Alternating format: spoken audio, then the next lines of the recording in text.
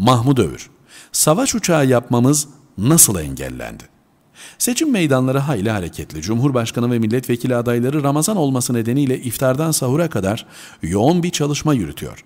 Her iftar sofrası büyük buluşmalara yol açıyor. Önceki gün Kültür ve Turizm Bakanı İstanbul 3. Bölge 1. sıra adayı Numan Kurtulmuş'un onur konuğu olduğu iftardaydım. Kurtulmuş baba dostları eski AK Parti milletvekili Profesör Doktor Türkan Dağoğlu, eşi Profesör Doktor Temel Dağoğlu ve oğlu Rebi Dağoğlu'nun verdikleri ve çok sayıda iş adamının katıldığı iftarda kısa bir konuşma yaptı. Bölgemizin yeni bir böl yönet tehdidi altında olduğunu belirten Kurtulmuş, sözü Türkiye'nin son günlerde yaşadığı ekonomik kuşatmaya getiriyor ve şöyle diyordu. Ekonomimizde faz değişikliği yaşanıyor güçlü üretim anlayışını esas alan bir ekonomiye doğru ilerliyoruz. Özellikle stratejik endüstrilerdeki desteklerin Türkiye ekonomisini ne noktaya getireceğini bilen bazı güçler bundan rahatsızlık duyuyor.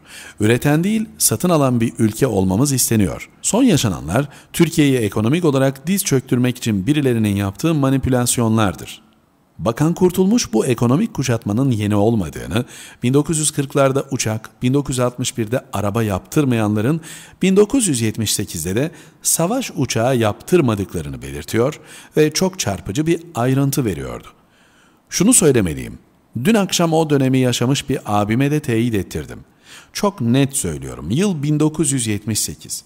Türk Uçak Sanayi AŞ şimdi TAY olan kuruluşumuz TUSAŞ, savaş uçağı yapmak üzere anlaşma imzalayacak. Dünya çapında Alman, Fransız, Amerika ve İtalya firmaları katılmış, İtalyanlarda karar kılınmış. Ankara'da imza töreni yapılacak.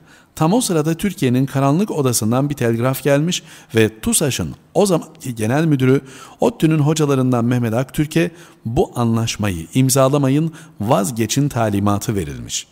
Eğer Türkiye 1978'de kendi uçağını yapabilseydi bugün Amerika ile F-35'i alacak mıyız almayacak mıyız tartışmasını yapmayacaktık. Manzara son derece açıktır. Mahmud Övür, Sabah